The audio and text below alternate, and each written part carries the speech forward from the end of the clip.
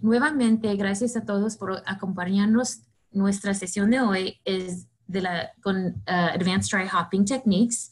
Ahora me gustaría presentar a nuestro potente del día de hoy, Rodrigo de YCH, Morenos Beer, Cervecería Principal y Cerveza Cypress. Gracias.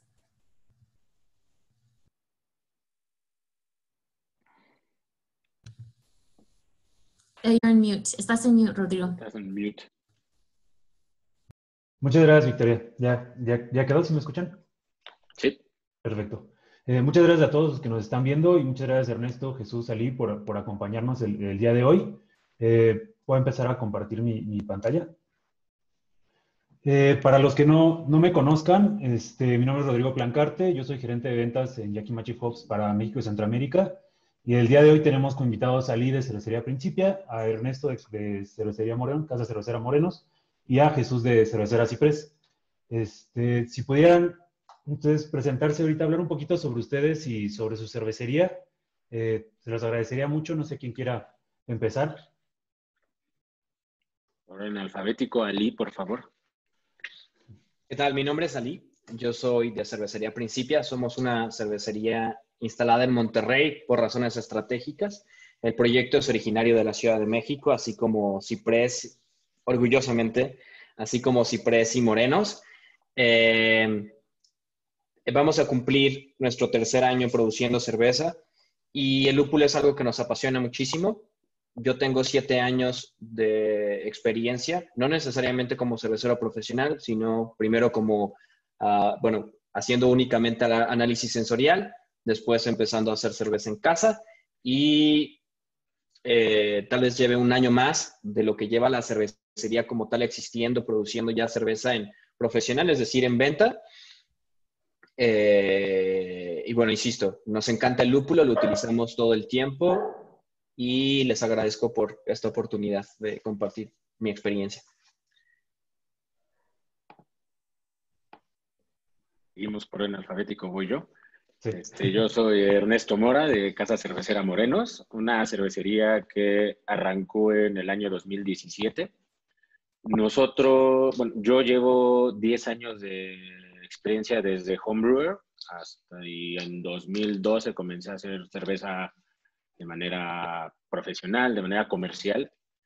Y esta cervecería, bueno, se identifica demasiado por por la cantidad de lúpulo, por ser cervezas IPAs, hazies, este, principalmente, entre otros, hacemos de todo. Eh, hemos estado trabajando con Yakima ya, pues vamos por el año y medio. Este, hemos ido, he tenido la oportunidad de ir a una selección allá a Yakima en, en Washington. Una, una, gran experiencia por Gracias, Rodrigo. A ustedes. Bueno, creo que ya me va, ¿verdad? Eh,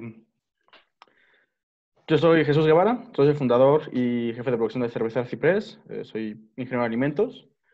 Eh, como ya dijo Ali, igual de la Ciudad de México, estamos localizados en la Ciudad de México. creo que a diferencia de tanto Principia como Morenos, nosotros somos de las cerveceras que no utilizamos como tal tanto lúpulo, no hacemos tantos hazies o nos caracterizamos por tener muchas cerveceras así. Más bien buscamos el balance de todo ese tipo de insumos en nuestras cervezas. Eh, la cervecera llevará cuatro años en activo. De hecho, sí, más o menos este año cumplimos cuatro años. Eh, y pues básicamente eso, o sea, buscamos el tener muchas de las, más bien buscamos el balance en todas nuestras cervezas y que sean lo más bebibles y disfrutables posible. Perfecto, muchas, muchas gracias. Este, para empezar, eh, me gustaría que platicáramos un poquito sobre los compuestos de lúpulo y qué es lo que nosotros queremos para, nuestra, para las cervezas en el, dry copy, ¿no? O sea, cuáles son las, los componentes que realmente queremos traducir ahí. Entonces, para aquellos que no, no conozcan más o menos la estructura del lúpulo, aquí les ponemos una imagen. Entonces, pues está en la, en la parte central hay, eh, hay, un eje y de este están saliendo estas hojitas, ¿no? Que le llamamos, el término correcto son brácteas y bracteolas. Y entre ellas se crecen, bueno, están algunas glándulas, que son glándulas de lupulina, que como tal cual dice el nombre, generan lupulina, que contiene todos los aceites eh, esenciales y resinas que queremos. Estas resinas, pues, son los alfa y betácidos. De ahí, en esta, en esta lupulina está lo que nosotros queremos, lo que se va a traducir más en el dry hopping, que son los aceites esenciales. Esto que aquí en esta gráfica que les pongo son los, este, pues, monoterpenos, terpenos, componentes oxidados, eh, bueno, oxigenados más bien, eh, también componentes azufrados también están ahí, entre otros. Entonces, a, grandes rasgos, eso es lo que, lo que nosotros queremos obtener en nuestro dry hopping. ¿Ustedes quieren comentar algo sobre, sobre estos compuestos antes de, continuar? Jesús, Ali. Este, bueno, en mi caso, eh, bueno, acabas de decir ese tipo de aceites y dentro de la lupulina y los alfa ácidos. Nosotros, por el tipo de cerveza que, que hacemos, siempre nos enfocamos más en buscar que tengan esa, o sea, los aceites esenciales, que tengan mayores cantidades. De hecho, este, no sé si tú recuerdas, digo, cuando fuimos a la selección en Yakima, no, realmente no volteábamos a ver los alfa ácidos, porque por el tipo de cervezas que hacemos, que usamos mucho más lúpulo en dry hop, en whirlpool, en eh, etapas tardías de la producción, realmente esa cantidad de misma variedad, digamos, nos enfocamos en que, o sea, que tuvieran más aceites esenciales porque es lo que estamos buscando para el tipo de cerveza que nosotros particularmente hacemos. Este, no estoy haciendo que, no estoy diciendo que los alfa ácidos y los beta ácidos no sean importantes, ¿no? Pero por lo que nosotros hacemos, cuando hicimos esa selección nos enfocamos mucho más en que tuvieran mayores cantidades de esos aceites esenciales. Eh, bueno, yo quiero comentar estos aceites esenciales. Esa eh, imagen nos, ayuda a entender eh, una parte de los aceites esenciales.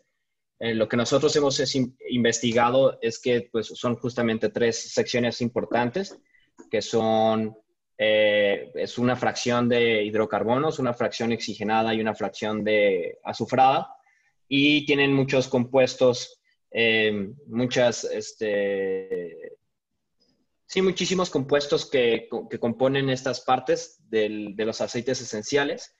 Y, y nos van a dar distintas características. Nosotros cuando eh, digo, idealmente este año, el año pasado no pudimos seleccionar nuestro lúpulo, este año espero estar pudiendo seleccionar la mayor cantidad de lúpulo posible en esta eh, cosecha.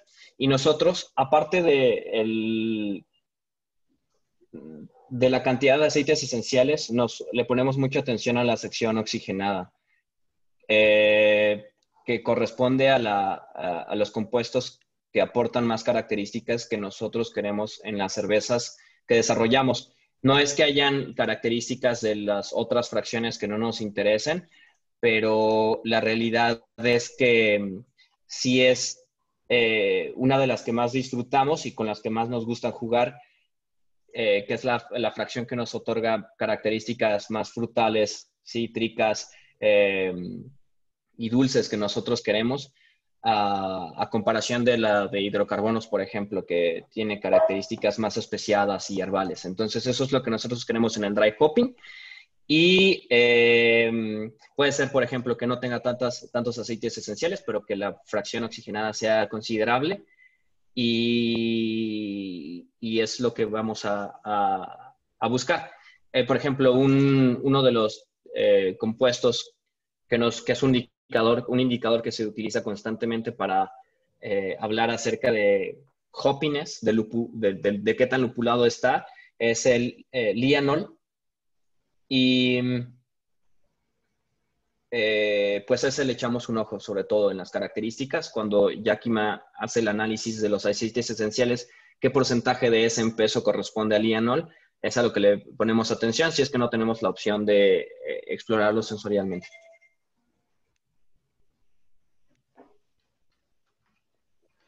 Muy bien. Este, y ahí, por ejemplo, me gustaría que, Jesús tú comentaras un poquito sobre, sobre esto, sobre este balance que hay que tener en cuenta. O sea, el dry hopping es muy importante, pero ponemos esta diapositiva para mencionar un poquito sobre los otros factores que también influyen en el resultado final de la cerveza, ¿no? O sea, los diferentes productos isomerizados, no isomerizados, tal cual el aroma, y pues, bueno, diferentes productos que también manejamos. ¿Ustedes qué, han, qué experiencia han tenido con ello o qué nos puedes comentar, Chuy?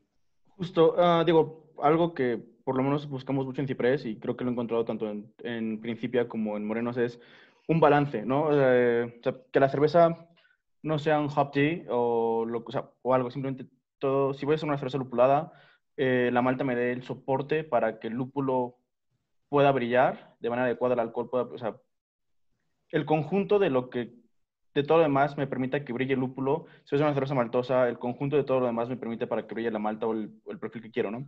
Eh, con respecto a ese tema de lúpulos, obviamente, no solo en nuestro caso como Ciprés, vuelvo al tema, no, ya que no hacemos tantas cervezas tan lupuladas, eh, siempre buscamos un poco de, balance en todo lo que hacemos, ya sea sazón, IPAs, todo eso.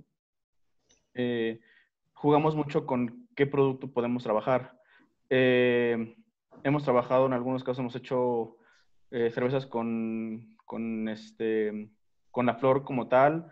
Hemos utilizado T90. Eh, básicamente en todos nuestros dry hops utilizamos cryo hop eh, con la finalidad de disminuir la concentración de materia orgánica, por decirlo de una manera, que introducimos a nuestro, a nuestro fermentador y poder tener mayor rendimiento en recolección de, de cerveza que va para nuestro bright tank.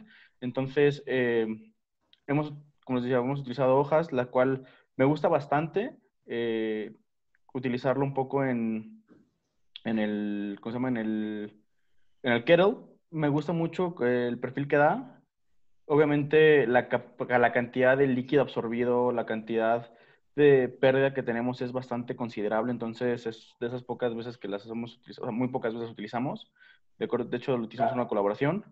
Eh, los T90, obviamente, pues es, creo que es lo más común que todo el mundo tiene, dado la facilidad que tenemos para almacenar en lugar de las bolsotas estas que utilizan toda nuestra cámara fría, solo 5 kilos, pero una cosa así, los pasamos a, a, los comprimidos, ¿no? Que nos da muchísimo, muchísimo espacio. Eh, obviamente disminuimos la oxidación eh, y bueno, es lo más común que, que encontramos de los productos. Eh, hemos utilizado en algunos casos aceites esenciales, la verdad, creo que ahí lo volvemos con el tema de balance. Mm, a mí lo personal me ha gustado porque obviamente no tienes mermas. Al final del día o lo puedes agregar al hervido o aceites esenciales que los puedes agregar directamente eh, al fermentador para darle muchísimo, muchísimo aroma a la cerveza. Creo que el único problema que hay, o más bien, el, debes de tener cuidado en cuánto lo agregas porque hemos encontrado que ciertas cervezas cuando el cervecero se emociona y se le ocurre meter de más, deja una nota resino, em, oleica, oleica o de aceite como tal. Entonces, uh, sí tienes mucho aroma, tienes un perfil de sabor rico, pero tienes una nota de aceite. Entonces, es como lo que buscamos tener muchísimo cuidado. Eh, digo, creo que preferimos empezar bajo y, seguir agregando. La ventaja de esto es que nuestro, Ernesto lo puede ver con sus unitanques, eh, en nuestro caso pues es Bright Tank, y es pues si sentimos que le falta, pues directamente, eh, en su caso se abre el dry port, en nuestro caso pues ya vemos cómo lo hacemos, pero meterás más aceite y meter CO2 por abajo por la piedra de carbonatación y pues eh, mezcla todo con CO2, burbujea y, y fin del problema, ¿no? Entonces, digo, hay muchas presentaciones, obviamente el IKEA, que es muy, muy bueno para el amargor, no tienes pérdidas, eh, más bien, o sea, no hay pérdidas o mermas en cuestión de volumen por la materia orgánica que le estás agregando, es brutal. Entonces, simplemente es adecuar tus procesos y tus insumos para que obtengas el mejor resultado. Y eso es algo muy importante, acorde a lo que tú quieres. O sea, no, no porque el IKEA sea eh, prácticamente un, un aceite ya isomerizado perfecto para el amargor, eh, va a ser el mejor uso si tú no quieres, ¿sí? Entonces, es algo que es muy importante. También es, influye, creo que, el gusto del cervecero por utilizar ciertos productos y es algo que nadie puede decirle qué está bien o qué está mal en ese punto, ¿no? Claro, sí va mucho a, gustos, ¿no? Sí, digo, va mucho a gustos, va mucho también creo que a necesidades de cada uno de los cerveceros. O sea, estoy seguro que Ali eh, es feliz con T90, Cryo Hubs, aceites. Tal vez no sé, no, no sé porque no lo he preguntado hace mucho tiempo que no veo a, Ali, eh, pero no sé si ya haya, o sea, le guste o haya utilizado aquí. Eh, tiene uno personal, eh, creo que es buena idea. Sé que Ernesto utilizó aquí, si mal no recuerdo, en una Stout. justamente como para si ya de por sí iba, iba a mermarle muchísimo por, por, este, por, por volumen, de, o sea, por horas de ebullición. Eh, toda mermale más porque le metiste materia orgánica que no puede pasar al chiller. Entonces es una muy buena opción, ¿no? De agregar ese aquí o cosas por el estilo así. Pero vuelvo al tema, es, creo que lo, yo lo habré utilizado dos veces, Ernesto creo que lo, en la nueva planta lo habré utilizado una vez, eh, o sea, es como esos gustos. Igual tiene que ver mucho el precio, ¿no? generalmente para nuestra American IPA, cuando utilizábamos T90 hops, eh, gastábamos 18 kilos más o menos eh, para unos 15 bbl y perdíamos obviamente muchísimo volumen. O sea, al final redondeaba a 20 kilos para ya simplemente abrir la bolsa y no tener que sea, no tener que, o no tener bolsas abiertas a mitades. Entonces, eh, teníamos muchísima merma en líquido, el cual obviamente hacía muy cara nuestra cerveza. Y al pasar a Cry Hops, que la opción, o sea, cuando nos diste esa opción, Rodrigo, fue una belleza, porque en el día, en costo técnicamente es el doble, pero estoy agregando 10 kilos. Entonces, o sea, estoy gastando lo mismo, porque al final del día, en lugar de agregar 20 kilos, agrego 10 kilos, que es básicamente o sea, el, el, equivalente a 20 kilos. Pero encima de eso estoy recuperando, estoy recuperando como unos 120, 100, o sea, de 1 a 1.4 BBLs más o menos, dependiendo del elevador que también utilicemos. Entonces sigo ganando dinero al final del día. Entonces también esa es una parte que es muy importante de considerar. O sea, el, el que tal vez unos eh, productos que no son el T90, que es el común, pueden ser más caros, pero el rendimiento en volumen que te van a otorgar eh, lo compensa. Claro. En el caso del, bueno, en mi opinión, en el caso del Cryo Hop, el ahorro no es económico, es en volumen. Ah, sí. Digo, al final ya Ocupas la mitad, pero te cuesta el doble, entonces económico, nada que ver, ¿no? Sino es que echaste la mitad y en vez de perder, voy a inventar 200 litros, perdiste 100. Entonces tienes 100 litros extras para vender. Que, que, que no tenías contemplados, por decirlo de alguna manera. Completamente, aunque también, así como menciona este Jesús, importa mucho el carácter que uno quiere impartir porque el cryo tampoco imparte necesariamente el carácter que te va a impartir el T90 y eso lo sabrán eh, ambos. Y es parte de la experimentación, es parte del romanticismo de hacer cerveza y estar experimentando, estar estudiando. Y bueno, al menos en nuestro caso, nosotros, eh, a pesar de que amamos el cryo porque nos puede dar más rendimiento, nos gusta seguir utilizando T90 porque hemos notado que le da cierta profundidad al carácter de lúpulo que no obtendrías únicamente con, con, cryo, entonces nos gusta seguir utilizando cierto blend. Y eh, implica un costo obviamente, pero pienso que el consumidor también agradece esa dimensión. Y finalmente este, entra en el, en el, costeo y, y se recompensa porque la gente lo agradece cuando, pues cuando se toma la pinta, ¿no? Claro, y va, va esto que platicamos, ¿no? Este balance, ¿no? Sí, balancear un poquito el T90 con Cryo para darle esa, como dices, profundidad al... Al carácter. Sí. Antes de entrar de, de lleno al dry hopping, ya que podamos discutir un poquito sobre estas adiciones, también para sabor, también para aroma, pero todavía en esta, al final de la parte caliente, ¿no? Que es en el, en el Whirlpool.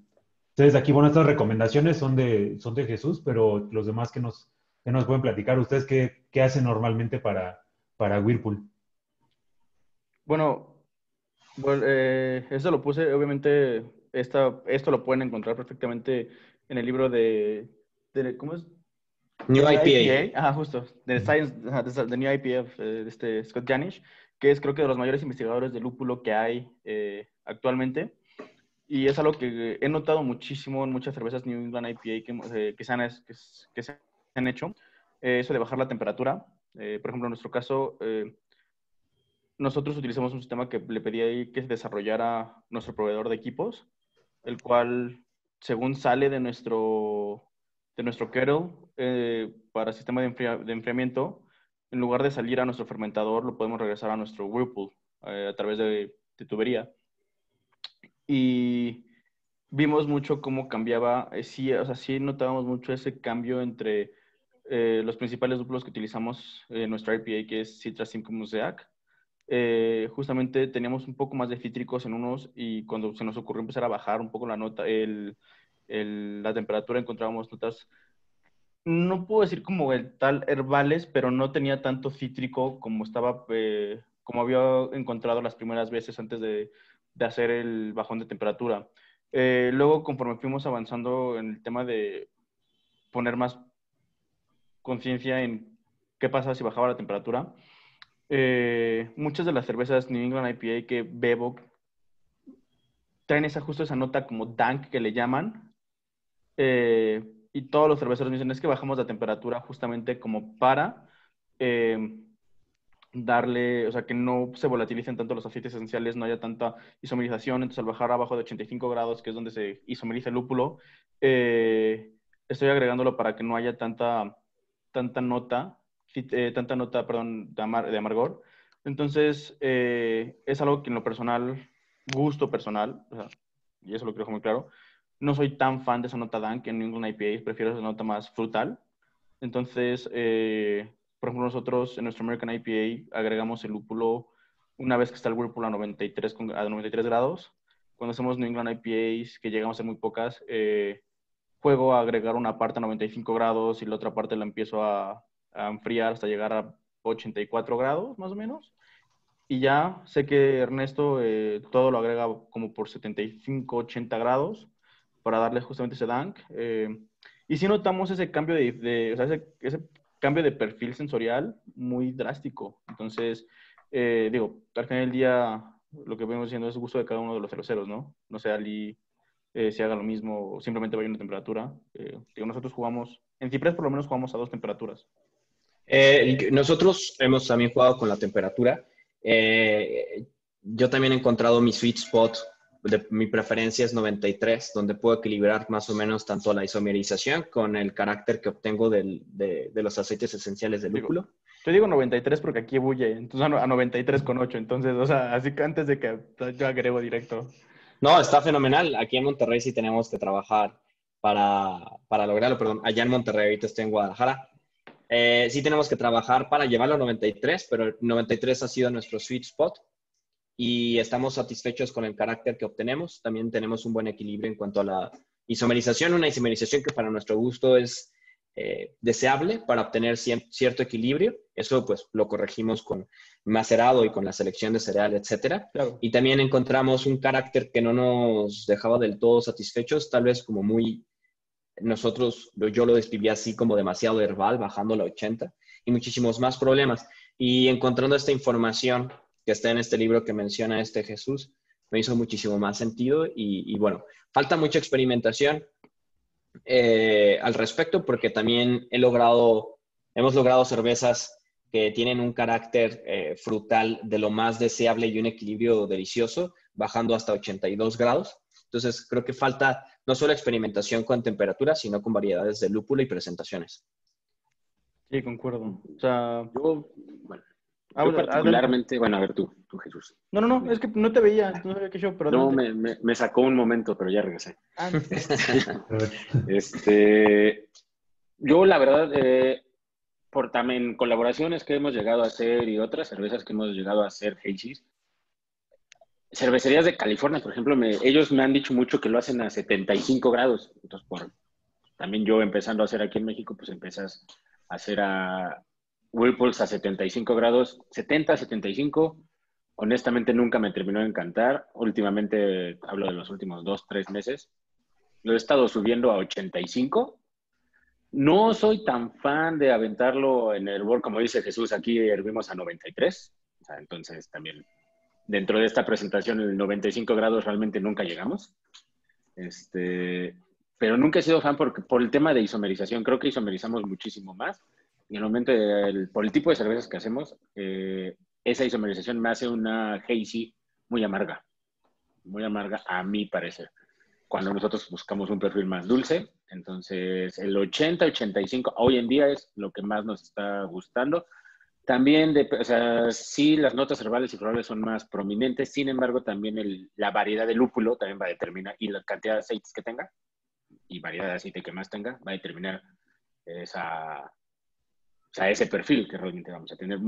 y Jesús no me va a dejar mentir, son muchas veces los mismos lúpulos con algunas variaciones, para, pero creo que nos, últimamente nos han estado funcionando entre 80 y 85, este, a 10 minutos aproximadamente. No me gustan los 90 por la isomerización y sí me termina una hazy muy, muy amarga. En otros estilos los hago a 93, claro, porque pues, así es y va a isomerizar y me encanta cómo queda en ese, en una Pale Ale, en una American, en una West Coast IPA y demás. Ay, pues, qué payaso. ahí, ahí, nos van llegando algunas preguntas, eh, entonces antes para irlas tratando cada uno de estos factores que vamos hablando, nos pregunta ahorita Daniel Valencia, eh, ¿qué tiempos de Whirlpool y descanso, si lo aplican, y por qué los realizan así? Eh, nosotros depende del estilo de cerveza que se esté haciendo completamente em, y, jugamos mucho. la mayoría de las cervezas que no tienen que ver con hazy eh, IPA, simple y sencillamente recalculamos el amargor que se va a obtener en, isomerización y preferimos hacerlo a 93, porque preferimos ese carácter de lúpulo. Y el amargor no es problema porque lo puedes volver a calcular. Cuando tienes una cerveza eh, lupulada que tiene tanta turbidez y polifenoles, este, perdón, y proteínas y, y, betaglucanos que se van a pegar a los polifenoles de lúpulo, es también algo a considerar, pero como la mayoría de las cervezas que hacemos en realidad eh, llevan un proceso de clarificación en donde no van a estar presentes, se puede recalcular el amargor y sin problema. Entonces, mi sweet spot es 93 y son 10 minutos de, de Whirlpool, 20 de descanso hasta la transferencia. Y el único en el que he llegado a jugar es con New England IPA y yo lo he movido entre eh, los 93 y los 80. Insisto en que mi sweet spot sigue siendo 93 yo prefiero darle backup con cereal y con eh, eh, dulzor residual, etcétera, para seguir obteniendo el carácter que yo quiero y obtener ese dulzor con, con, el, con el cereal y mi macerado. Eh, pero he tenido éxitos este, geniales hasta los 80 grados. Ah, bueno, al mismo tiempo, 10 minutos de, de, Whirlpool y 20 de descanso. bueno, en nuestro caso, igual sweet spot para mí ha sido hermoso 93 grados. Vuelvo al tema, ¿sabes? Básicamente, bueno, 93, 92, que es más o menos lo que baja un poco cuando estamos en Whirlpool. Lo que yo hago, eh, igual, depende mucho de qué tipo de cervezas. Por ejemplo, tenemos una eh, American Lager que tiene Sorachi, uh, single hop Sorachi, el cual agregamos eh, gran parte en el Whirlpool. lo que hacemos mucho es empezar el recirculado, lo dejamos 10 minutos en recirculado. Eso nos baja la temperatura de 93,8 a 92,6, una cosa así y agregamos otros 10 minutos de, de, recirculado, más lo que tarda en pararse. Entonces, básicamente estamos agregando un hop stand como de aproximadamente unos 25 minutos, en lo que pasa, gira eh, con Whirlpool como tal y frena antes de transferir. Eh, entonces, nos ha funcionado bastante bien. Este, en algún caso, por ejemplo, American IPAs, básicamente lo que hago es empezar el Whirlpool eh, empezar el Whirlpool y agregar el, una vez que ya, ya veo como tal el Whirlpool, agrego todo, la gran cantidad de generalmente son como 4 gramos por litro de lúpulo. En nuestro American IPA, eh, básicamente tardamos unos 2-3 minutos en conseguir el remolino de manera adecuada, unos 40 ah, hercios, 36-40 hercios eh, de, con la bomba. Y lo mismo, 15 minutos más el tiempo que para, entonces estamos tardando 20-25 minutos en en, empezar la transferencia. Y ya ahí dependerá mucho de cuando se llega a hacer el New IPAs, eh, pues tardamos un poco más porque obviamente eh, se enfría, bueno, echamos en el 93 o 92 con mucho y luego bajar la temperatura eh, para la temperatura a la segunda edición de Whirlpool que queremos, más lo que tarde en frenar, entonces tardará un hopstone como de media hora más o menos. Eh, que es básicamente lo que estamos haciendo nosotros y lo mismo que dice Ali, o sea, depende de qué tipo de cerveza, eh, el perfil que queremos eh, y lo mismo cómo hemos trabajado el, el perdón, la malta, el mash, el agua, el pH para poder conseguir los rendimientos que queremos. Entonces, no es el mismo, por ejemplo, en nuestros American IPA siempre buscamos que el pH, o sea, nuestros mashes en pH siempre están en, en 5,4 pero dependiendo del tipo de cerveza, ya el Moston Kettle modificamos otra vez el pH para hacerlo más agradable al paladar. Y eso implica obviamente que a veces eh, sé que cuando hacemos American IPA y bajamos mucho el pH, o sea, a mi parte administrativa no sabes cómo odia eso porque bajamos el rendimiento de una manera, entonces tengo que agregar casi un 25% más de lúpulo para amargor. Y eso implica que es más cara la cerveza, pero hemos encontrado que igual trabajando un poco ese pH, eh, no hemos encontrado nada de astringencia y el amargor es tan asertivo que en verdad es muy agradable ver eh, las cervezas. Bueno, sí, Rodrigo, adelante.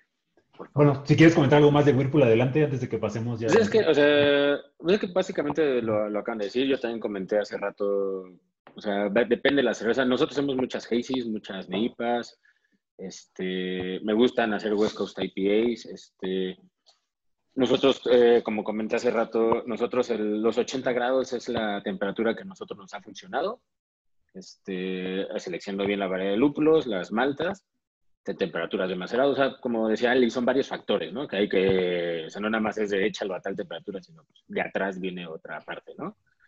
Este, como decía Jesús, el pH también es otra cosa, que tenemos notado mucha astringencia dependiendo del pH, si es más alto, si es más bajo, o sea, cambia todo. Este, nosotros lo dejamos 10 minutos realmente, no más, este, más lo que se queda quieto, que son entre 5 eh, a 10 minutos, dependiendo del volumen del, líquido que haya. Y eso a nosotros particularmente es algo que nos ha funcionado perfectamente en adiciones tardías. Nosotros básicamente no, no hacemos ninguna adición durante el hervor y todo siempre va a Whirlpool. Porque a pesar de que te bajes de 90 grados, siempre va a haber esa isomerización. Claro. Y bueno, ya, ya entrando a, dry hopping, ya, ya no nos preocupamos tanto por estas temperaturas de, isomerización, ya es ya en el lado frío. Entonces, vamos a ir hablando sobre cada uno de, los factores este, y discutiendo sobre, sobre las variedades, sobre los tiempos, pero pues a grandes rasgos, ¿qué es el dry hopping? O sea, yo lo defino simplemente con la adición de lúpulos post fermentación al lado frío, con lo que digo extraer mayor cantidad de aceites esenciales. Ese es como lo, yo lo defino, ¿no? O sea, no sé si ustedes tienen alguna, algún comentario extra sobre qué es dry hopping antes de empezar a hablar, que con el primero que tenemos me parece que es tiempos y temperatura.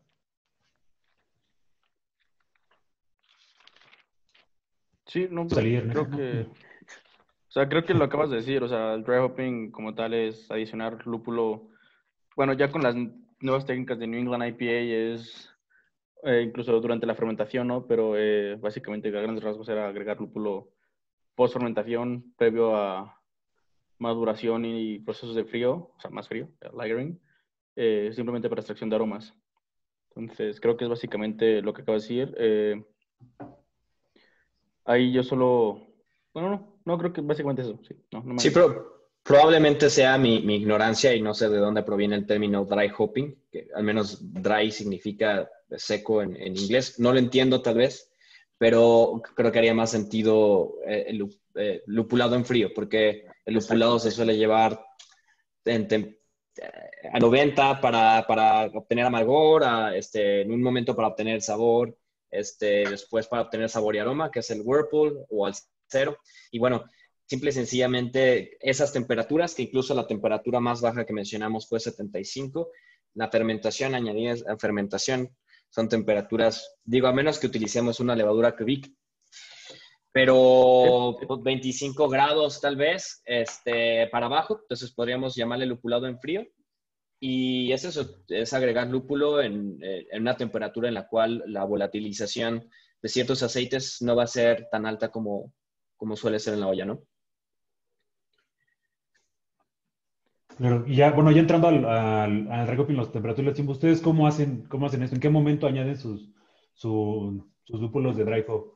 Eh, había unas preguntas por ahí en la aplicación de Juba que nos preguntaban cuál es el mejor tiempo, este, más bien cuál es la mejor temperatura y en qué momento adicionarlos, ya sea, por ejemplo, en temperatura de cold crash o temperatura de fermentación, durante fermentación o no. ¿Ustedes más o menos qué es lo que hacen? Eh, bueno, bueno. Ah, por favor, Ernesto, adelante. Muchísimas, muchísimas gracias. Hemos hablado mucho, Ernesto, adelante. pues nosotros, bueno, repito, como nosotros también hacemos muchísima sí eh, y lo comentó ahorita Jesús, eh, normalmente pues, es post-fermentación, temperaturas bajas, entre comillas, este, y han salido nuevos momentos de dry hopping que ya son durante la fermentación para generar biotransformación, para generar otro perfil, esto un poquito más de graduación alcohólica que te da esa biotransformación. A nosotros no, no, bueno, para mí personalmente no me encanta, sí lo llego a hacer a veces, pero principalmente porque una vez que hacemos el dry hopping durante la fermentación, pues, pues adiós la levadura, ¿no? Este, sí es como de, bueno, ya, adiós. Entonces, eso lo hacemos una vez que decidimos, o sea, hacer biotransformación en lotes que decimos ya darle fina esa cepa de levadura. Este, y nosotros lo que, la temperatura que más nos ha funcionado, hemos intentado arriba de 15 grados, este, con, con, buen, con buena extracción, este, pero en tema de tiempos y una mejor extracción que yo nosotros, bueno, yo personalmente he encontrado es entre 10 y 15, particularmente en 14, este, por dos días. Eh, a mí me ha dado un muy buen perfil frutal cítrico, ligeramente este, herbal. Y no, no, ya no toma tanto tiempo. Antes lo llegaba a dejar hasta cuatro días y a temperaturas más altas, arriba de 15. Y no significa que fuera malo, pero encontré que por eficiencia, este, en unos 14 grados por dos días, hemos tenido un gran resultado en aromas. Este, y, un perfil que a nosotros en las cervezas últimamente nos ha gustado mucho más. Okay. En nuestro caso, eh, igual depende mucho del estilo. Eh, cuando hacemos a veces, casi, y lo, tengo que, lo digo abiertamente, casi todas las New England IPA que llegamos a hacer, o algunas American IPAs utilizamos cepas Kivik. nos encanta utilizar cepas Kivik. Entonces eso disminuye mucho nuestra, nuestro uso de, dry hopping. Eh, entonces igual depende mucho de lo que estemos haciendo. Esa es la temperatura. Eh, cuando hacemos New England con levadura Kivik, generalmente eh, nosotros fermentamos como a 36 grados y dry hopeamos a 21 más o menos durante un día y medio. y que empezamos a sacar. cuando hacemos la American IPA, siempre en, en lugar de hacerlo a 14 grados, o sea, yo lo hago a 15 como tal, me gusta a 15, eh, porque igual al final del día es lo que decía Ernesto, o sea, ¿qué es, qué es lo que estás buscando, qué estilo estás trabajando, es lo que mejor te puede dar. Eh, entonces, a mí me gusta mucho el perfil que le estamos dando a nuestro American IPA porque seguimos teniendo la fruta proveniente de los lúpulos que utilizamos, eh, la parte de la resina, el piney clásico de, o sea, de verdad un American IPA. y nosotros, lo que decía al inicio, utilizamos Cryer Hub, y más bien en lugar de hacerlo por dos días, nosotros hacemos dos, eh, perdón, tres días a 15 grados, pero antes de que acabe el segundo día eh, hacemos una resuspensión. Bombeamos CO2 para resuspenderlo y dejarlo hasta el tercer día y empezar a, a sacar lúpulo al final del tercer día. Eh, sacamos todo lo que podemos. Después terminamos de clarificar con Biofine. Entonces, esa parte de la resuspensión, no, por ahora nosotros no nos ha causado ningún problema el que nuestras rosas lleguen con algún algo de, inserte la palabra que guste, de lúpulo, eh, ya sea, o sea, materia orgánica en general de lúpulo. Eh, pero sí nos ha gustado mucho también hacer la resuspensión de, de, ese lúpulo al final, a mediados del segundo día, para que el tercer día eh, tenemos sacar de, más bien toda la levadura que queda y, este, y toda la materia orgánica que, terminamos agregando durante el proceso de dry hop. Eh, nosotros depende de, de, la cerveza. Nosotros eh, la mayoría de las IPAs, de las cervezas que predominantemente, o que casi de ley van a llevar dry hopping, utilizamos bomba. Entonces, eh, lo que hacemos es añadir el lúpulo. A nos gusta muchísimo la temperatura de 15 grados centígrados. Hemos explorado hasta 17, 18, 20, pero en 15 grados, como mencionaron ellos, para nosotros también es un sweet spot de equilibrio donde aparecen características más diversas y agradables del lúpulo y nosotros hacemos recirculación con bomba por tres horas.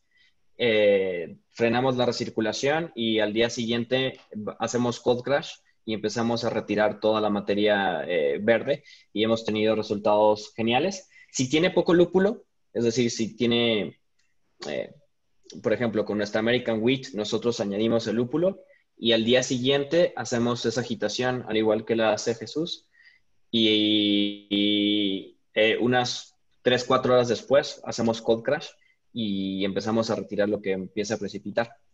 Pero el grueso de nuestros dry hoppings no dura más de, ni siquiera llega a 24 horas, tal vez llegará, serán 18 horas. Yo particularmente, particularmente este, he tenido la experiencia de agitando, llego a extraer un poquito más de astringencia, en mi caso. Eso lo he notado. Algo haré mal o no sé, pero... No, es, eso suele suceder. Eh, la mayoría de las cervezas, tenemos eh, Extrasolar es nuestra New England IPA de línea. Este, em, nosotros de todas formas utilizamos un poco de clarificante en nuestras cervezas eh, hazy. No las dejamos así completamente, le agregamos un poquito para que tengamos el menor conteo de levaduras posible y tiremos un poquito de polifenoles todavía y evitemos esos problemas. Y como nuestra mayoría de cervezas son clarificadas, eh, eso no es mayor problema. Entonces... Perdón, te interrumpí, Ali. No, no, no, adelante, adelante. Quiero, quiero imaginar que, o sea, dado que tú utilizas la bomba, al final del día estás, o sea, utilizarías PVPP para eh, disminuir la cantidad de polifenoles que estás extrayendo por fuerza de, por fuerza de lavado. ¿O eh, no. Biofine? No, Biofine. Eh, de hecho, nosotros nos, es, lo contemplamos con una reducción de amargor, sobre todo en la, en la olla. Ok. Este, ah, Tiene sentido. Ajá. Y, y ya, listo. Checamos mucho el pH de nuestro macerado, el pH del hervido, como ustedes mencionan en las corridas finales de transferencia de mosto a la olla también la densidad de las corridas finales, el pH de las corridas finales, el, pH antes de irse a fermentación. Em, y es así como, como lo, equilibramos. Y añadimos, tampoco no abusamos del biofine, solamente para, sobre todo, quitar levadura, quitar ese aspecto como áspero, astringente, aparte de mm. mejorar nuestra vida en aquel de la levadura y, bueno, aprovechar también que, es un proceso relativamente rápido y eficiente. Claro, sí. Aquí sobre esto, esto que mencionaban de la, bueno, la agitación y ocupar la bomba, ¿ustedes ocupan algún otro equipo para adicionar su lúpulo o solamente la, esta recirculación con bombas? ¿O han ocupado en algún momento algún equipo extra de adición? Sí, nosotros aquí tenemos un Hub Cannon, este, que en la foto está a la derecha, de hecho es ese. Este, pero justamente, o sea, lo compramos eh, intentando que fuera mucho más hacia el lúpulo, pero hemos notado esa astringencia con el, ¿cómo se llama? En la agitación. Este, digo, yo no hago lo que hace Ali de, o sea, todos mis faces no llevan un biofine, no llevan, o sea, como vienen. Este, entonces, estas, estas cervezas, siento que yo he notado con el Hop Canyon que ha sido un poco más astringente. Hoy en día el Hop Canyon lo uso más para infusionar otros ingredientes realmente. Este, entonces yo por eso yo ya no uso este, estos eh, instrumentos para, para adicionar este, en el cold side, digamos. ¿Hay para la astringencia? ¿Habrás intentado ocupar los cryo en el Hop Canyon? No, la verdad, cryo, sí he ocupado cryo, más no en el Hot Canyon. Entonces, bueno, sería tal vez algo, pues el siguiente experimento, puede ser. Sí, porque al tener menos bráctea igual y te ayuda para, para que sea menos astringente. Me podría ser, pues la próxima que pida lúpulo pediré algo de cryo para, ¿cómo se llama? Para hacer ese experimento. Sí, por ejemplo, mejor. Y como, como son menores cantidades totales cuando utilizamos cryo, nosotros eh, llegamos a no utilizar la bomba y utilizar únicamente este resuspendido. Aunque tengo entendido que también depende del tamaño del tanque, nosotros hasta con 20 bbl estamos bien, pero he platicado con otros y aparecer en 30, 40 bbl igual y la bomba que nosotros utilizamos ni siquiera es tan eficiente y ni siquiera el, resuspendido. Eh, pero con, sobre todo con Cryo creo que el trabajo y el tiempo y el dinero que nos cuesta conectar la bomba no lo vale y es mejor agitarlo porque es muy poca materia que podemos nosotros eh, eh, reincorporar o volver a mezclar o aumentar su superficie de contacto o volver a este, estimular esta superficie de contacto con una simple agitación. Sí, de hecho, algo que, algo que dices es, o sea, me pasó eh, cuando cambiamos de planta. Eh, no sé si te acuerdas de los fermentadores que tenemos, bueno, que se convirtieron los de la planta piloto, básicamente. Son Spade, que son de eh, fondo plano. Eh, vimos mucho que igual, o sea, al tener fondo plano, obviamente la superficie de contacto era es mucho mayor que incluso nuestros fermentadores de 30 bbl. Al final del día, como son cónicos, obviamente todo lo concentra en un punto que está hermoso porque podemos recuperar levadura y podemos hacer muchas cosas de limpieza pero sí tuvimos que aumentar nuestra cantidad de lúpulo en dry hopping, solo porque al final del día la suspensión que, o sea, todo lo concentraba en un punto tan céntrico, por decirlo de alguna manera, que en verdad nuestra, nuestra eficiencia con respecto a los antiguos fermentadores, que eran planos eh, de falso, de, fondo plano, este, disminuía mucho el aroma. Entonces eso sí nos llevó a pasar.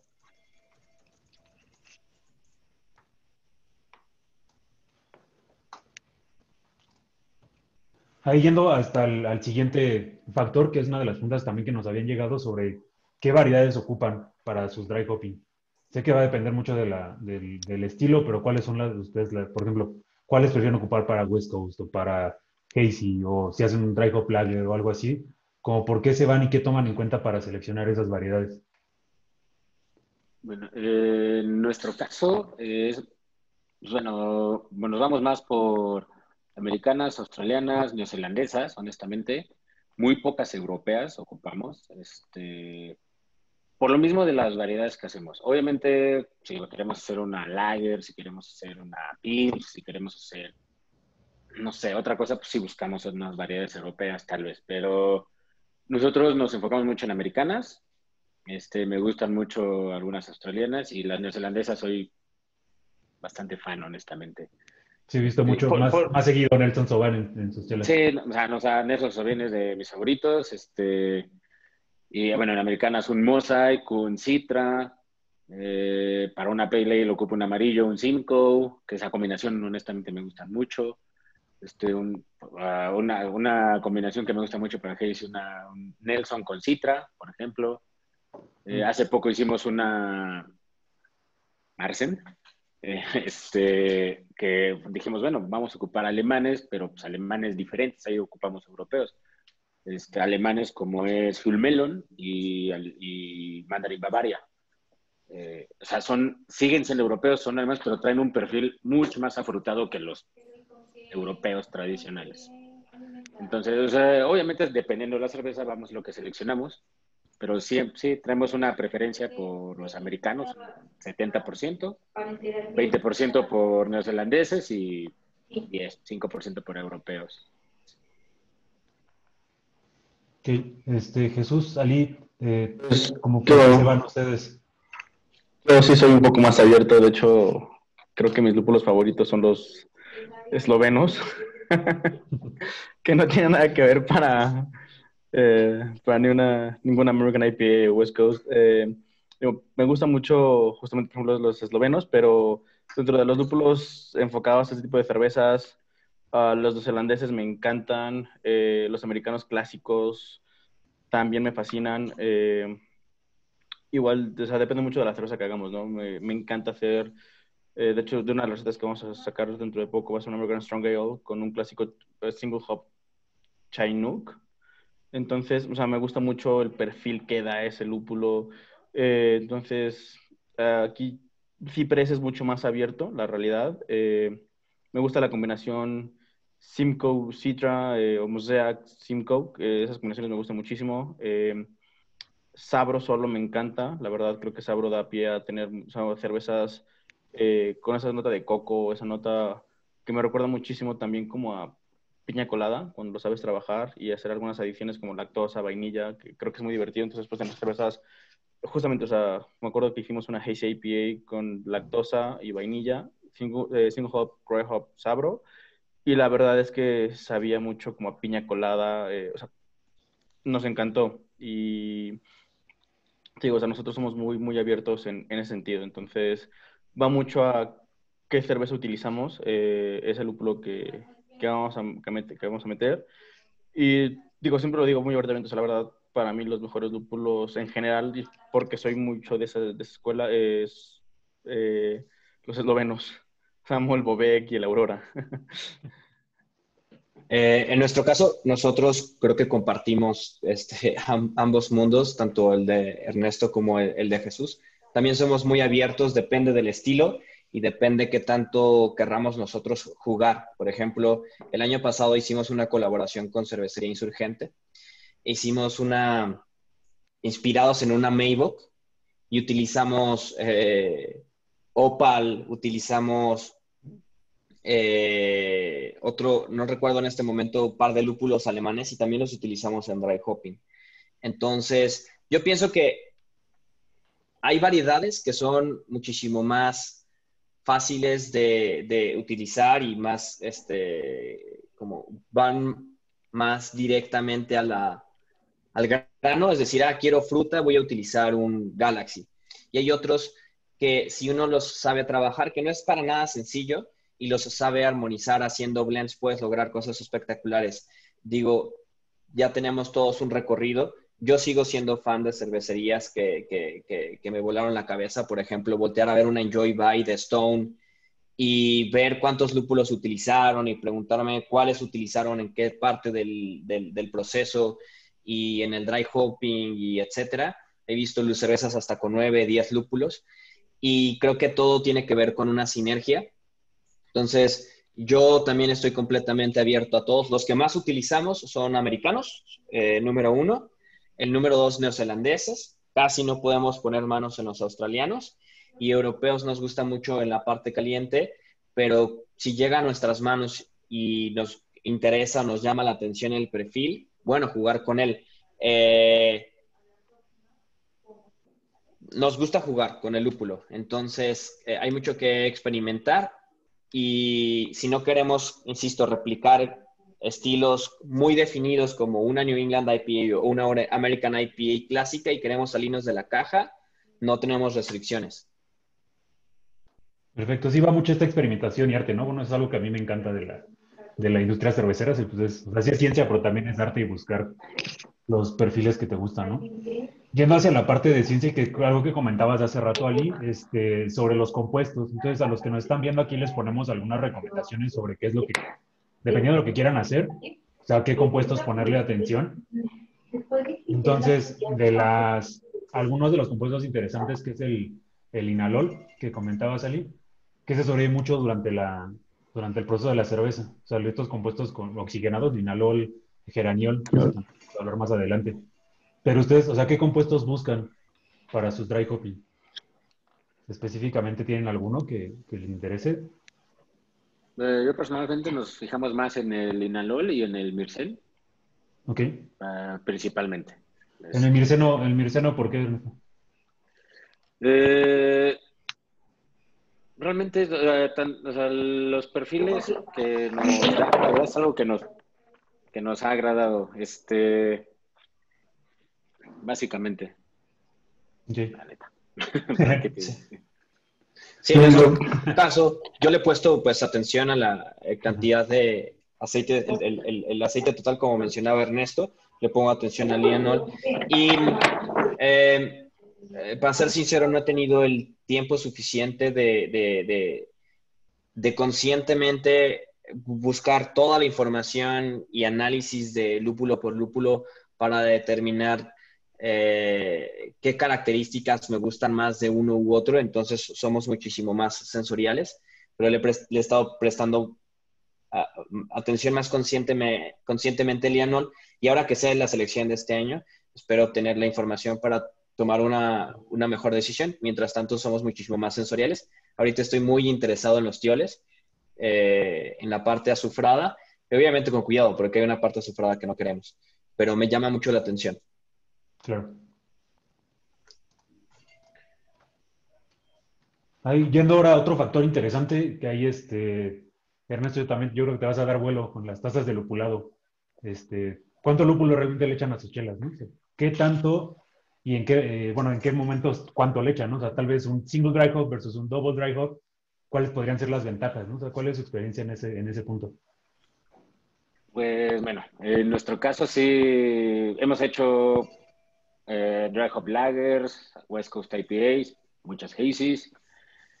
Eh, y hemos ido desde, te voy a decir, 5 gramos por litro hasta 25 hasta 30 gramos por litro. Eh, sí, hubo, hay una experiencia, una colaboración que hicimos con Insurgente que, de iba a ser una double dry hop, iba a ser una double dry hop que terminó siendo como triple dry hop porque no cabía. O sea, llegó un punto que le echamos, le echamos por el drag port de arriba. Sí, ya, o sea, literal ya no le cabía más. Y ya, bueno, dije, bueno, déjalo un día que se, se, baje un poco y el día siguiente le echo la otra mitad. Pues tampoco ocupo. Entonces le volví a dejar otro día para que se bajara un poco y una tercera vez. Eh, esa solamente de dry hop fueron cerca de, eh, para 15 dBLs, 40 kilos de dry hop. Eso en gramos por litro, 40 entre 1700, son 23 gramos por litro, 25 gramos por litro de dry hop, más el hot side, otros 10 kilos, fueron 50 kilos esa, esa cerveza. Son cervezas que sí, la, la, verdad, terminan con un perfil muy chingón, son muy apreciadas, pero pues también terminan siendo considerablemente caras por lo mismo, ¿no? Este, pero en general yo te diría que unos 15 gramos por litro de dry hop me ha funcionado bien, tal vez a veces 20 cuando son double dry hop. Este, una pale ale te diría unos, en nuestro caso, unos 10 gramos por litro. Y una lager también está tirándole a los bueno, cuando hacemos dry hop en lager no es muy común, este, pero cuando llegamos a hacer unos 10, también igual que la pale, por lo mismo, que está a temperaturas un poco más bajas y demás. Ahí, ahí hay veces que sí meto agitación. Este, entonces sí, hemos ocupado desde 5 a 10 gramos por litro hasta 25, 30 gramos por litro. Sí se nota la diferencia. Claro más fuerte, la, más fuerte el aroma, ¿no? Y más persistente. Sí, mucho más, mucho más fuerte, mucho más persistente, pero también tienes mucha más merma. Mucha más merma. O sea, el lúpulo, el pellet es polvo, se expande y ahí no, no lo he intentado, pero tal vez ahí es donde debería intentar un poco más usar el dry hop este, para evitar esa, esa merma, realmente. Claro. Sí que es, de hecho, lo que les quería preguntar a Jesús y ustedes que lo han ocupado más frecuentemente, el cryo, o sea, pues estas tazas que comenta Ernesto, unas sí coinciden con esas, con esas este, tazas de lopulado y otra, cuando lo pasan a cryo, si es la mitad, como nosotros recomendamos, ustedes han tenido una experiencia diferente. Bueno, en, mi caso, uh, sí, la verdad es que vimos, o sea, nosotros hemos trajopeado desde un gramo litro eh, sazons, por ejemplo, eh, con Savinsky, hasta nuestras New England IPA. Entonces hemos utilizado tanto T90 como, este, como ah, Cry Hop. La verdad es que sí vimos, me acuerdo la primera vez que cocinamos en la de 15 BLs, eh, eh, metimos T90 y estábamos más o menos metiendo unos 10 gramos litro aproximadamente eh, para justamente la American IPA, que creo que es bastante amigable en ese sentido saca, habremos sacado unos 12 BBLs, 13 como mucho, o sea, tuvimos una merma considerable eh, con, esta, con el T90, haberlo pasado a 10 kilos de cryo hop, 3 días con recirculado, eh, la verdad ha sido una eficiencia increíble, nos hemos trabajado muchísimo, hemos comentado casi 1.4 BBLs eh, el extra, lo único que sí a veces eh, tuvimos que trabajar en los lotes pequeños experimentales es cuidar la cantidad, justamente la cantidad de lúpulo, bueno, eh, lupulina que estamos agregando, por ejemplo, el de es casi todo lupulina, eh, para no hacer un overhopping y tener problemas de polifenoles en la cerveza, porque llegó un punto en el que cuando estábamos haciendo pruebas en la planta piloto, la cerveza estaba fenólica. O sea, era tanto, tanto lúpulo que, bueno, tanta lupulina que estábamos agregando que la cerveza eh, cogía un perfil fenólico ligeramente. Entonces tuvimos que trabajarlo de manera adecuada para, eh, a pesar de que me gustaba mucho cómo, eh, cómo podía utilizar el cryo hop para incluso dar amargor a la cerveza, no, no nos gustó nada la falta de complejidad y justamente no nos gustó nada el cómo podía darle los una nota fenólica a la cerveza. Entonces decidimos que solo íbamos a uh, dry hopear con cryo las cervezas y es para lo único, lo, único para lo que utilizamos. Y el volumen que recuperamos es increíble, el aroma es increíble, súper limpio. Es, en verdad, es en lo personal me gusta mucho utilizar eh, básicamente cryo en todos nuestros, en todos nuestros dry hops. Nada en parte caliente, decimos no, sacarlo de la parte caliente por completo y solo meterlo a dry hops. ¿En Whirlpool tampoco? ¿Ni siquiera en Whirlpool? Nada, o sea, lo más caliente que pongo un, lo más caliente que pongo un Cryo es 23 grados y porque estoy fermentando con Kivik. Digo que prácticamente tenemos cuatro fermentaciones con Kivik al mes y es lo más caliente que, o sea, entre 20 y 21 grados es cuando rejopeamos con, con este, rejopeamos a Kivik. Y más que nada porque o sea, si me espero que baje tan agresiva, o sea, nosotros no bajamos la temperatura de golpe, estamos bajando un promedio de 4 grados por día. Entonces, si me espero a que termine de bajar la cerveza, tardo más en bajar la cerveza que en, lo que tardo en fermentar. Es como, ay, ya, está 20, perfecto, dale. Y que vaya bajando, o sea, conforme pasa esos tres días de drejopeo, vamos, seguimos bajando la temperatura. Eh, en nuestro caso, nosotros sí utilizamos también cryo en, Whirlpool. De nuevo, siempre es un blend, no utilizamos únicamente eh, eh, el, el cryo en Whirlpool. Y mm, nosotros también no, no hemos encontrado características que nos gusten más allá de los 9.4 gramos por litro, que es lo máximo que hemos utilizado. Al contrario, creo que puede detraer y de forma muy intuitiva, porque hay información al respecto, pero no la suficiente, tenemos una idea acerca de, la sinergia, de del, compuesto, del, lo complejo que son realmente los aceites esenciales. Creemos que, que si sobrepasamos cierta cantidad, sobre, se sobrecompiten ciertos que igual y no tienen la misma capacidad de disolverse. Entonces, lo más que llegamos a utilizar, hemos llegado a utilizar es 9.4 gramos por litro y eso de nuestra Double IPA y nuestra Double New England IPA. Eh, pero, por ejemplo, en nuestras este, flagship, nosotros utilizamos 6.8 gramos por litro, máximo 7 gramos por litro, y llegamos a utilizar desde 2 gramos por litro y, somos felices con el resultado. De nuevo, depende de, la cerveza. Nuestra American Wheat lleva 2 gramos por litro. Eh, nuestra Session IPA lleva 6.8, igual que nuestra IPA. Nuestra New England IPA lleva 7 y solo las dobles se acercan, se acercan a los 10, pero no más.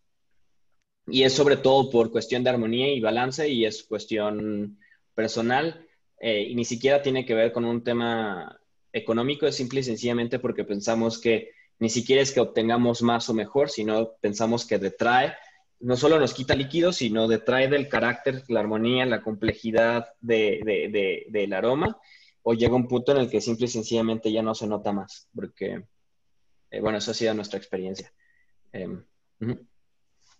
Em, Para pasar al siguiente factor, que es algo bastante interesante, sobre la biotransformación, esto que es como pues, relativamente nuevo hasta cierto punto, que para los que no, no sepan qué es biotransformación, o sea, la definición es, pues, la interacción entre compuestos de lúpulo con un este, con la levadura, con este organismo vivo, y que va a resultar en una, este, una ración enzimática y va eh, idealmente potencializar ciertos aromas. Entonces, uno de los ejemplos más claros pues, es el geraniol, que transforma citronelol y ayuda a potencializar aromas cítricos. ¿Ustedes han, han visto esto en sus cervezas o, o, juegan un poco con la biotransformación en sus dry hopping?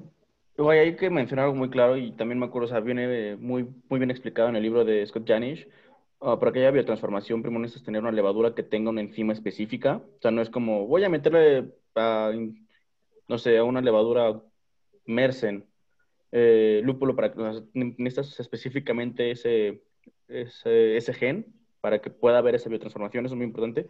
Que afortunadamente ha trabajado en levaduras como lo es eh, Vermont, eh, Coastal Haze, um, ¿qué otras? London 3, London Fog. Ayúdenme con otras levaduras Hazy, cabrón. Eh, no sé, casi no utilizo levaduras Hazy. Eh, de hecho, la única levadura Hazy que utilizo es todas nuestras cuatro cepas de Kivik, porque son poco floculantes, pero no utilizo comerciales como Coastal Haze, London Fog. no me sé tantas. Eh, honestamente, sí. O sea, de hecho, nuestras, nuestras Hazys son... El 90% de nuestras Hazys son... Si no son sazón, son este, con fermentaciones con Kivik, que son cero floculantes entonces, pero no utilizo otra tipo de levadura. Pero lo que voy es, eh, primero se necesita eh, este tipo de enzimas. Y la otra, lo que decía Ernesto, y es muy importante. Eh, me acuerdo cuando hicimos la colaboración con Brasserie Dubas, que de hecho tú nos ayudaste a, a planearla, Rodrigo. Y nos llamaron como, sí, yo solo tengo un colega que está todos los días haciendo, o sea, está trabajando en el laboratorio haciendo cepas a nivel, a nivel producción porque como hacemos tanta biotransformación, obviamente, así como entra nuestra primera generación, dry en, en, en, fermentación y tiramos la cepa. Entonces solo hay un colega haciendo levadura. En nuestro caso, eh, y comparto con Ernesto, es un tema que creo que para poder ser viable una cerveza en ese sentido, entonces tienes que comprar los viales de 20 litros, pasarlos a, o sea, hacer el crecimiento, el cual ocupa mucho tiempo, ocupa mucho equipo, ocupa a un personal específico para eso. Eh, dicho esto, sí, yo sí he notado eh, cómo hay un ligero cambio. También, la verdad, no lo he hecho con levaduras Kivik, dado que no, este, no quiero, prácticamente las utilizo cinco veces. Pero concuerdo con Ernesto, o sea, a menos que queramos matar la levadura, o sea, ya matar la cepa, la verdad es que mm, no le veo tanta utilidad. O sea, en este momento en el cual eh, no tenemos a alguien que esté todos los días en un laboratorio resembrando y resembrando y resembrando y resembrando, y por si no le he dicho resembrando.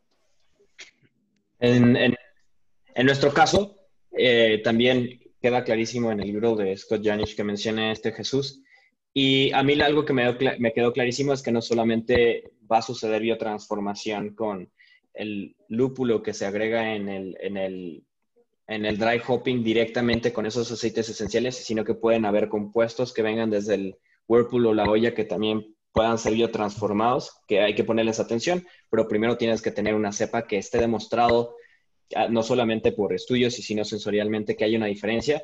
Y lo que creo que se puede aprovechar más de hacer el dry hopping durante eh, la fermentación es que pues la levadura va a metabolizar el oxígeno, entonces va a, va a disminuir la cantidad de oxígeno que queda en la cerveza y también por lo que tengo entendido como es un compuesto muy polar el myrcene y ese tipo de compuestos que son muy verdes y, bueno en nuestro caso nosotros no los queremos en una New England IPA eh, es más fácil que los separe los volatilice la fermentación para que se queden compuestos como el lianol.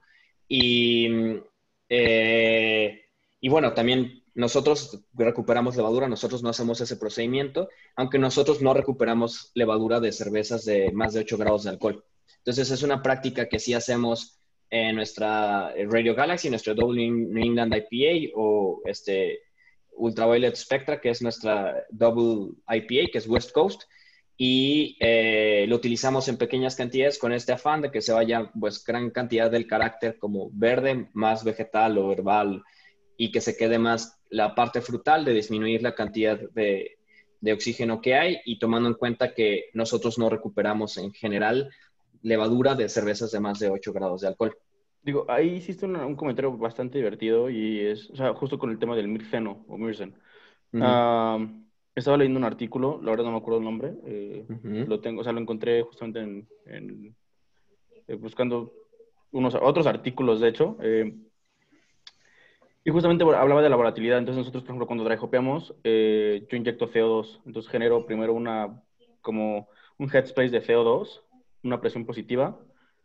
a nuestro lúpulo como tal, si ya está abierto, le paso un poco de CO2, si directamente es una bolsa nueva, pues la abro y la, lo abierto. Pero, por ejemplo, nosotros eh, metemos CO2 por abajo del fermentador. por abajo te hablo racking arm o directamente desde el, el cono del cono. Eh, y lo que hacemos es, al dry obviamente generamos una presión positiva, eh, quitamos la tapa del dry port, metemos el lúpulo, en este caso, pues obviamente, procuramos que casi el 90% de nuestro dry hop es, este, es cryo hop, a menos ciertas eh, ciertos varietales, como por ejemplo Savinsky, que hemos recopiado, hacemos con Savinsky, o algunos otros, como o sea, que no tenemos eh, Hop. Eh, pero bueno, o sea, metemos y lo que hacemos es seguir metiendo CO2 durante otros 3, 4 minutos extra, como para también empezar a mezclar y, empezar a volatilizar parte de ese compuesto verde, eh, que es como lo puede ser el mirceno. Y obviamente lo que vuelvo al, tema, en nuestro caso a los dos días al resuspender el, el lúpulo, pues igual abro el blow-off, entonces seguimos volatilizando parte del mirceno. Entonces también, en caso yo no he encontrado eh, esa nota de mirceno, esa nota verde eh, que dice Ali, porque sí metemos CO2 para volatilizarlo. Entonces hacemos un arrastre por, por CO2. Yo no, bueno, a nosotros sí nos, hasta cierto punto sí nos llega a agradar es un poco la parte del merceno, depende, pero por ejemplo ahorita que dices que tienes una presión positiva, una cosa que nosotros hacemos es también el tema de oxigenación. Eh, a la hora de agregar vía dry hop, siempre, siempre va a existir esa posibilidad de adición de oxígeno. Siempre. Este, últimamente, últimamente, los últimos cuatro o seis meses, eh, al momento de hacer el dry hop, ah, empezamos a metemos CO2 a través del spray este, para pues, estar purgando meramente. O sea, es como lo poco que le puede entrar, le estamos quitando esa posibilidad. Este, y hemos notado que nos ayuda porque también eh, mucho de lo que nosotros hacemos una hazy cuando se oxida es muy notorio. Creo que, creo que lo han visto. Este, entonces, es muy notorio cuando una hazy se llega a oxidar, ¿no? Entonces, hemos estado buscando nuevas maneras de estar eh, eliminando cualquier opción de oxígeno. En tema de biotransformación, lo comenté hace pues, un par de diapositivas. Este, no es algo que nos encante, más por un tema de recuperar la levadura. Eh, no es ningún secreto que la levadura creo que es el, bueno, creo, es el ingrediente más caro siempre cuando, si, no lo reutilizas y si no lo creces y si no... Y es el único que puedes reutilizar. Entonces, le damos vueltas a la levadura nosotros las suficientes veces y cuando ya decidimos decir bye, es cuando hacemos algún lote que decimos va, va con biotransformación. Igual que allí un lote de arriba de 8, ya no le ya no le damos otra vuelta, pero también es raro que hagamos algún lote de arriba de 8.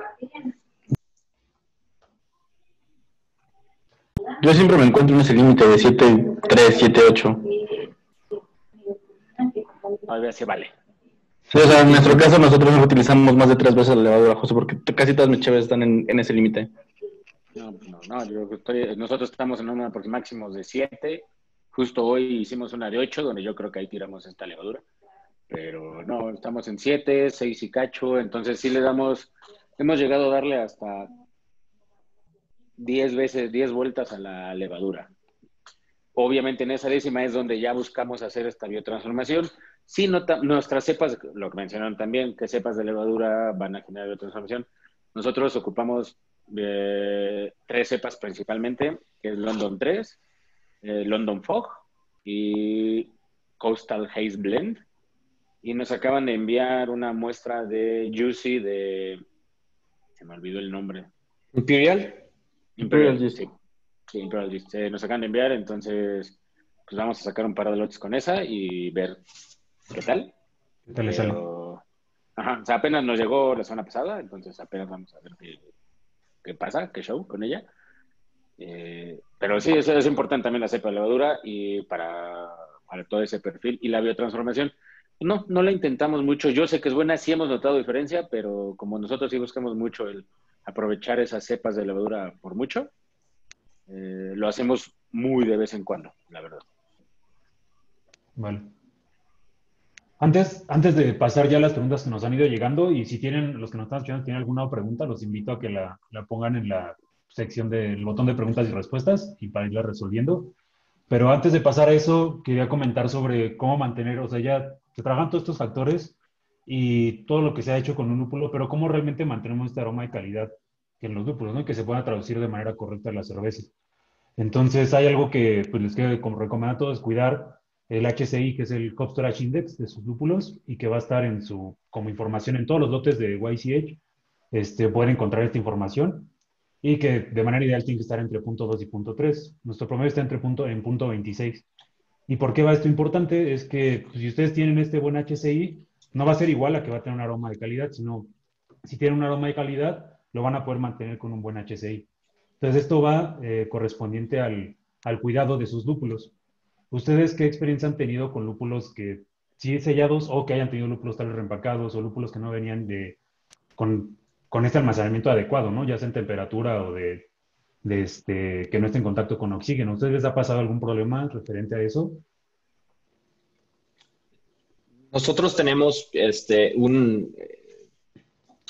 Nosotros procuramos tener bolsas cerradas, cerciorarnos de que es el mismo lote y utilizarlo. Ahorita es un lote para cada lúpulo que utilizamos trabajando con, con, ustedes, entonces podemos tener la certeza de que la otra bolsa va a tener o tiene que oler y tener las mismas características prácticamente, pero cuando no hay ese tipo de, de, controles, lo que nosotros hacemos es sensorialmente eh, eh, hacer un análisis sensorial olfativo este, del, del, lúpulo antes de utilizarlo para decidir eh, si, qué se va a hacer con él, para evitar alguna tragedia y de que queden las, se meta la cerveza irresponsablemente y tener una característica que no queremos. Em, entonces, al menos desde que trabajo en contrato con, con, con, ustedes y sé qué es lo que me espero, este, no he tenido mala experiencia. Es que también, bueno, eh, exactamente lo que acaba de decir, nosotros que tuvimos la oportunidad de ir el año pasado y supimos qué seleccionamos, sabemos qué vamos a tener. Digo, del, de las 10 variedades que tengo en contrato, solo podemos seleccionar, creo que 4 o 5, no mal recuerdo. 5, según yo. 5, este, creo que sí, 5. Pero, o sea, sé de esas 5 por lo menos, yo sé qué voy a obtener porque lo seleccionamos. ¿Cómo lo mantenemos? Así lo mantenemos en refrigeración siempre entre 0 y 5 grados. Y una cosa que nosotros intentamos es siempre acabarnos las bolsas en el momento. Eh, antes, cuando hacíamos lotes más pequeños de un BBL, era un poco más complicado porque no vas a echarle 5 kilos porque ya se te acabó la cerveza en lúpulo, básicamente. Pero a hoy en día es de, oye, vamos a agregar este y este e intentar que se acaben las bolsas, no intentar no dejar bolsas abiertas o que no estén abiertas, en nuestro caso, más de una semana. Si no me la acabé en el hot site, me la acabo en el dry hop, eh, en una semana, una semana y media. Eh, y, es, es, algo que nosotros intentamos mucho para intentar no tener esas bolsas abiertas. Este, hoy en día, como comento antes, conocíamos lotes de un BBL, pues sí era más complicado. Los, lo, tenemos un empaquetado al vacío, las metíamos al vacío, los fraccionaba para, para que se mantuvieran, pero pues era más chamba, ¿no? Entonces hoy en día, hasta, eh, hoy en día que producimos de lotes de 15 BBLs, este, pues ya van... Más fácil, ¿no? Lo, ajá, sí, es bolsa tras bolsa y tras bolsa. Y si no se acaba, no me tardo más de una semana en aventársela en dry y así no tengo bolsas abiertas, siempre en frío. Y, siempre yo sé que tengo esa calidad y esa, esa información constante gracias al contrato y la selección que hicimos con ustedes.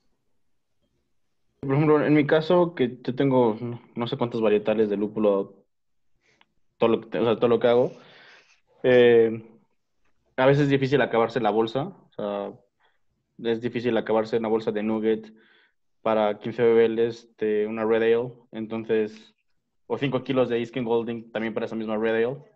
Entonces, lo que hacemos nosotros es, eh, una vez abierto el lúpulo, y obviamente tenemos un sistema PEPS, lo más, buscamos que sea lo más estricto posible, eh, el sistema PEPS, pero igual, o sea, ya una vez que se abre y se va a regresar a la cámara fría, eh, antes de eso se purga tres veces con CO2 y se sella con cinta.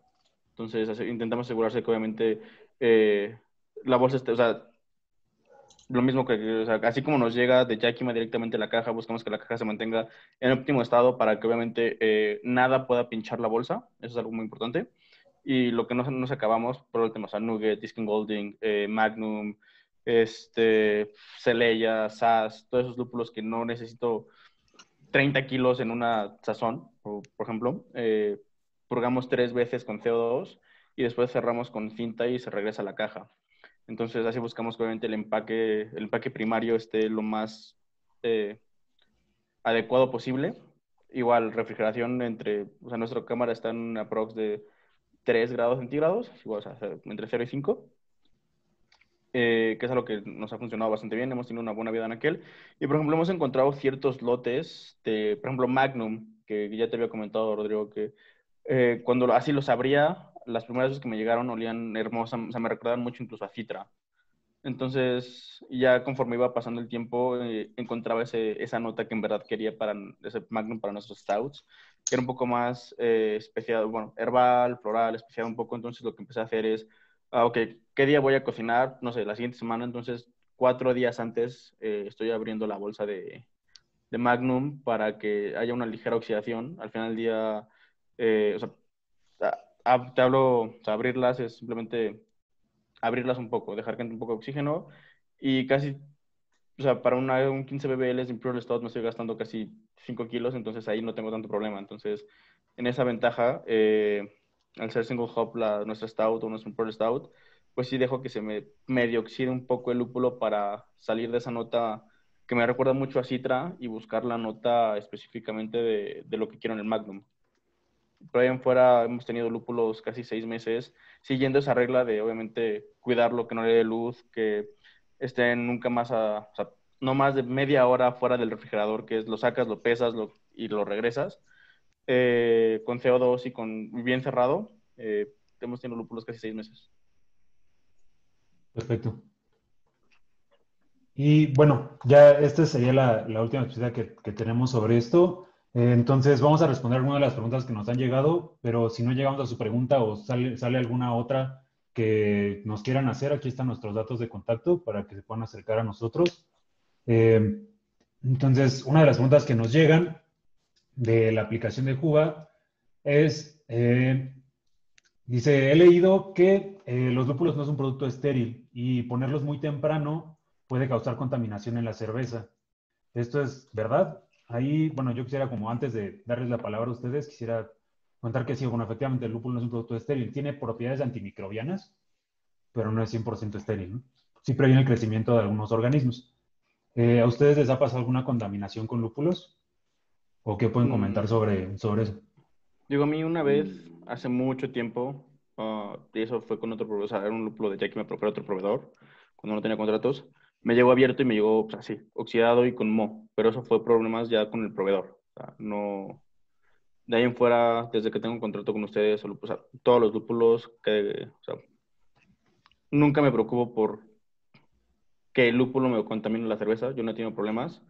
Eh, igual procuro que, obviamente, cuando hacemos dry hops en planta piloto, es un tanto difícil, o sea, no es como lo que hacemos, supongo que Ali, Ernesto y yo, que es directamente abrir la bolsa y así como viene la bolsa de empaque primario, metemos todo el lúpulo.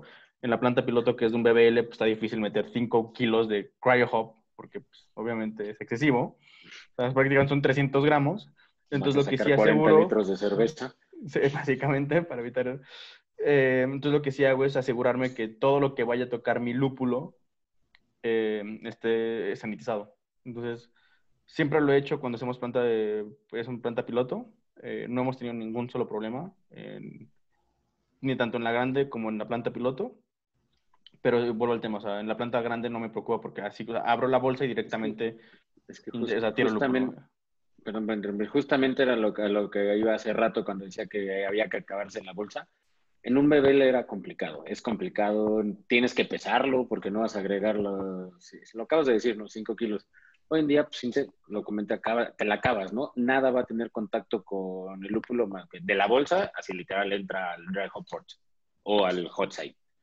Este, pero pues, en un bebé, pues sí, siempre va a existir ese riesgo, pero ya ni siquiera yo creo que vaya a ser un tema de lúpulo. O sea, porque ¿qué, qué tuvo contacto? ¿Dónde lo pesaste? ¿Lo limpiaste? ¿Lo sanitizaste? ¿Estaba seco? O sea, son más factores que, o sea, hablando en pequeña escala, ¿no? Este, lo que intentamos nosotros en, ya en 15 niveles es de, así como, o sea, completito, ¿no? Se acabó. O sea, y terminas la bolsa y saxe, ¿no? O sea, o sea, pues es que sí, ¿para qué, para qué guardas un kilito? 200 gramos. Ajá, 200. y, y, para guardar 200 gramos exactos tienes que pesarlo. Y para pesarlo ya tuviste que poner el otro lado. Y para, pues, entonces ya, entonces no, no, nosotros, nosotros no hemos tenido un problema con contaminación con lúpulo este, siempre y cuando hagamos eso. O sea, porque repito, o sea, ya, ya metiste más factores, ¿no? O sea, el, em, ¿dónde lo pesaste? ¿Estaba limpio? ¿Estaba sanitizado? o sea, pero directamente el lúpulo per se en un dry hop, en un hot set, pues va directo y nos sacamos la bolsa. Es una manera también de minimizar todo ese tipo de, o sea, de riesgos. Sí. Eh, bueno, justo el, el, lúpulo no es estéril, este, si acaso es bacteriostático y si llega a tener bacterias, pues no les permite que crezcan. Y al menos, no con ustedes, pero nosotros abriendo en campana por, por el afán de, aprender, sí hemos llegado a encontrar bacterias en el lúpulo, porque se puede, y eso no significa que vayan a contaminar tu cerveza, depende de que nosotros llamemos contaminación.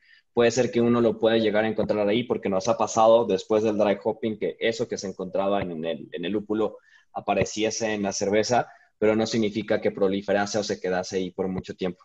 Es un ambiente muy hostil, todavía hay ciertas levaduras que son eh, muy fuertes, este, tenían colonizado el, el, medio, el pH, muchas cosas que no permiten si es que llega a haber bacterias, al menos en nuestra, en nuestra experiencia con los lúpulos en los que llegamos a encontrar en algún momento y no con ustedes eh, bacterias, tampoco es que se traduzca en contaminación y spoilage, que se echa a perder la cerveza.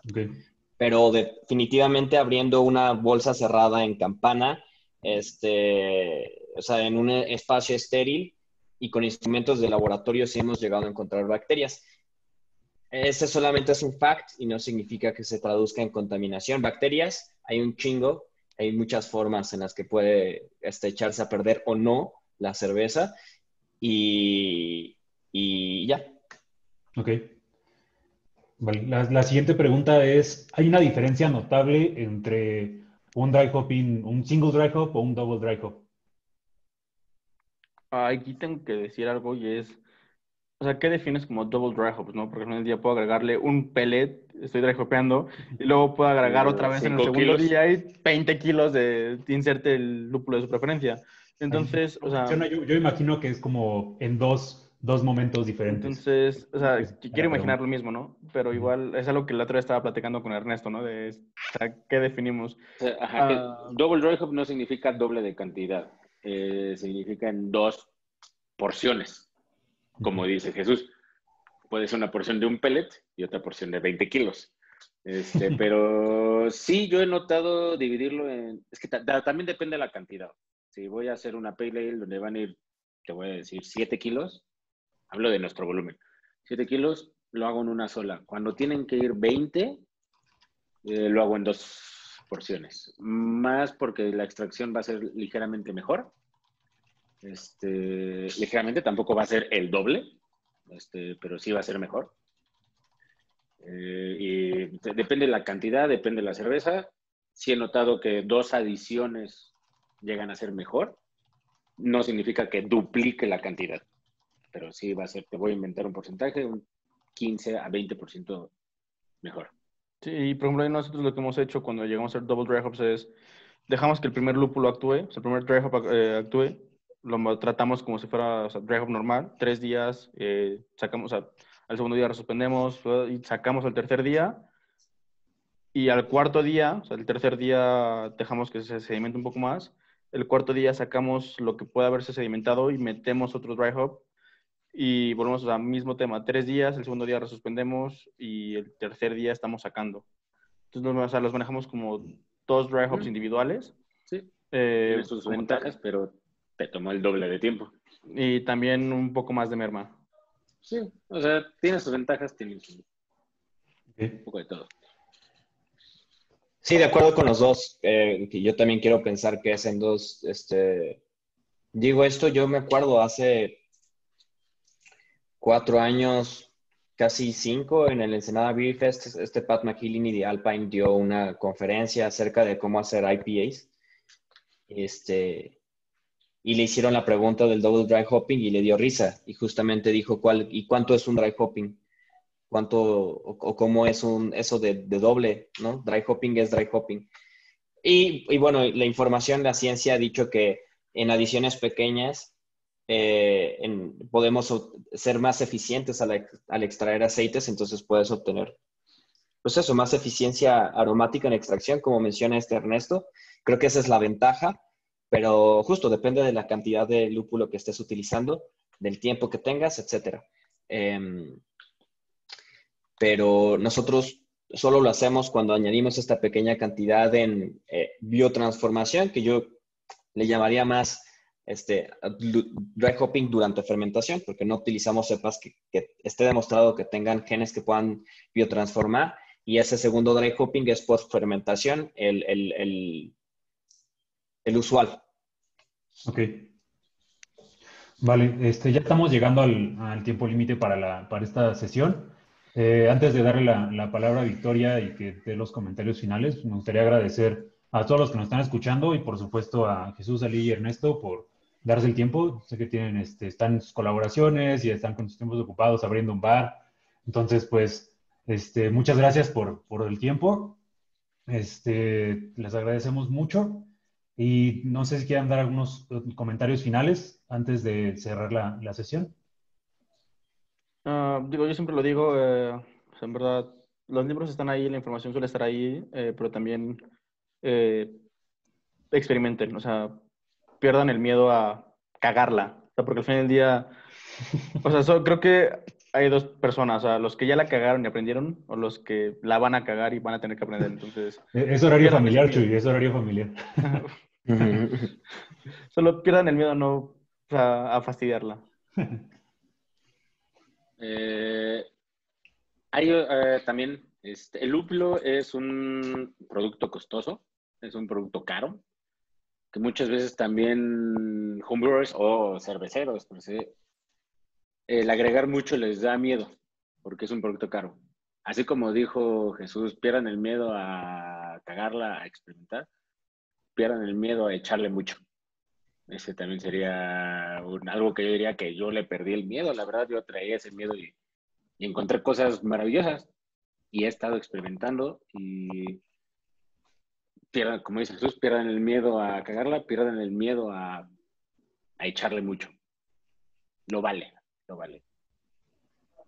Y yo complementando a ambos, es así como hay ahí libros y hay información, eh, importa más la experiencia.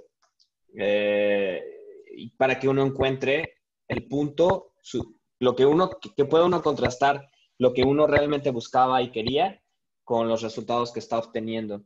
Entonces, lo que depende del tema, ¿no? Pero hablando del uso del lúpulo, hay muchas variables que no estamos contando a, detalle, como es la cepa, los cereales que se utilizaron, etcétera.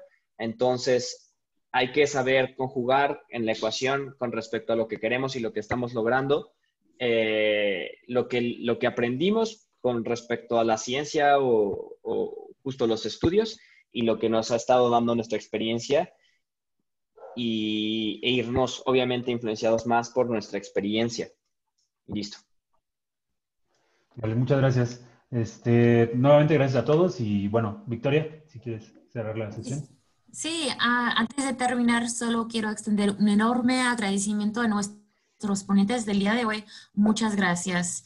Además, este evento fue grabado y estará disponible para reproducir on demand en virtualharvest.com o dentro de la aplicación Juva. También pueden descargar la presentación desde el sitio web y la aplicación. Gracias a todos por acompañarnos hoy en esta sesión de Virtual Harvest. Espero verlos en la próxima. Gracias a todos. Nos vemos. Gracias. Gracias. A ti, Victoria. A ti, Rodrigo, Jesús, Ali. Hasta luego. Nos vemos. Gracias. Chao. Buen día. Buen lunes, Jesús.